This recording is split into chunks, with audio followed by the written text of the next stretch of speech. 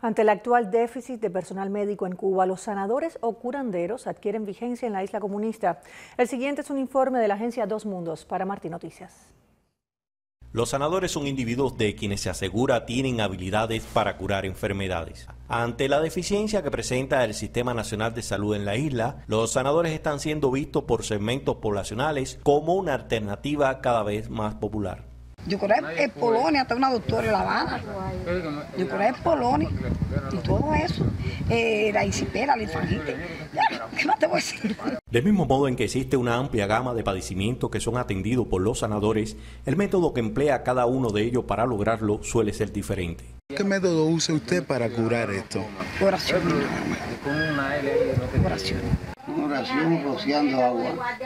La iglesia tiene un servicio eh, sacramental que se puede aplicar de forma pública o de forma privada. Y cuando yo curo, no queda marca. Y cuando se dan las curas en el hospital, sí queda marca porque ellos raspan y limpian. En el caso mío, no, yo no toco la, la llaga, no la toco. No sanamos enfermedades, sanamos la mente del hombre.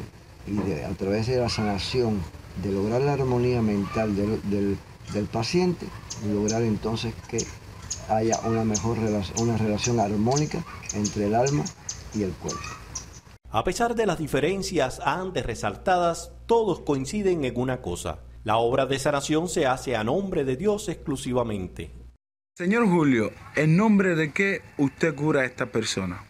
De nuestro Señor Jesucristo. De la providencia divina.